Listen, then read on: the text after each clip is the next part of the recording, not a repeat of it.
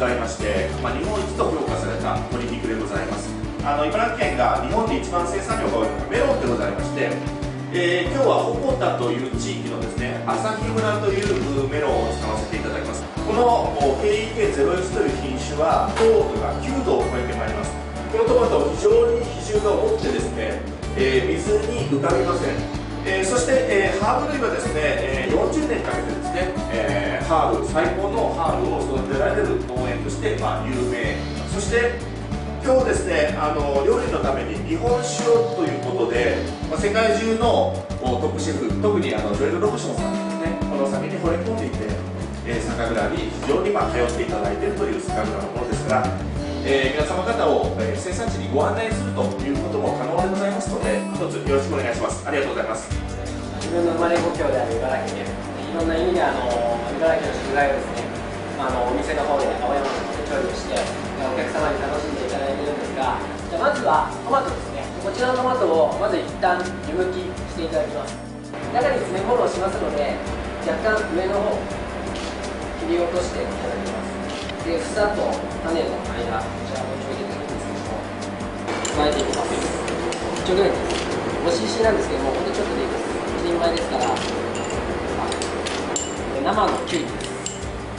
これもお好みでねであとちょっと混ぜますよく混ぜます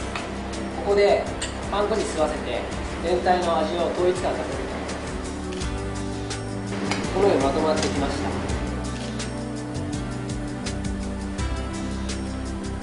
トマトの中には塩はしません。なぜかというと先ほども言ったんですけどトマト自体にうまみがあるのでやはりちょっと酸味をね他で加えてあげたいのです、ね、今回ホワイトバルサミコを表面にうっすら加えて程よい酸味を足してあげます。これで、えー、トマトのバゴッティング仕上げました。次に、えー、ガスパチョですね。小玉スイカとフルーツトマトのガスパチョを作っていきたいと思います。はい。じゃあミキサーの中に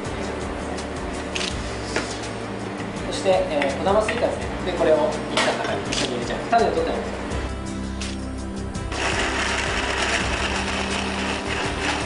あれなんですけども。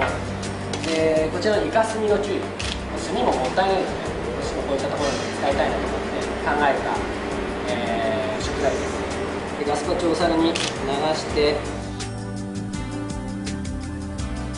オリーブオイル。でこちらで完成ですね。ではこちらを使って、えー、奥久慈しゃもの食べ尽くしいろいろ部位に分けて調理していきたいと思います。僕あのフランスとイタリアの方で、えー、2年間修行したんですけどもすごい毎日グレストリバーがさばいてますはい。胸肉ですね。でこれはあの胸の部分ですけどもひっくり返してここに、ね、大きくささみが出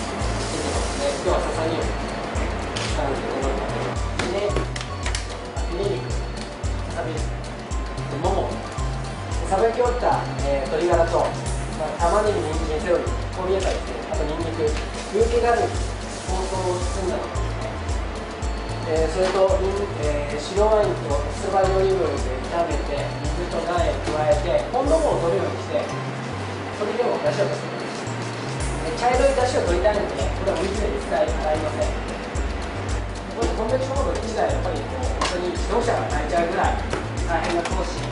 を1台買うことによっていろんなさまざまな調理もできますしいろんな、まあ、メニューのバリエーションも増えますので僕ら非常にあの苦労した、えー、調理機材でで皮と身の間ちょっと開けますこの中にハーブを入れていますで入れたらですねこの真空包装パックを用意します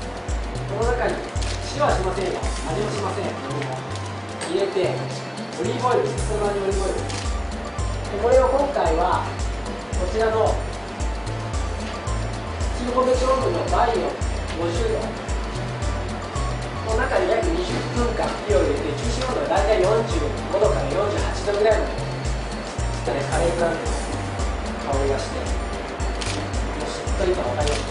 生じゃないかと思うんですけど火は入ってます。で包丁の峰で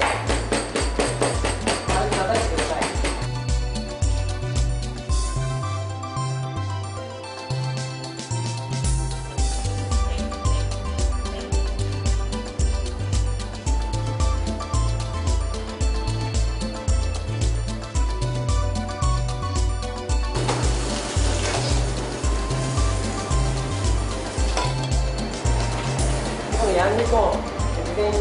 包丁で切り込みを入れて180度のオーブンで約10分ほど焼いてます。これを乗せていきます。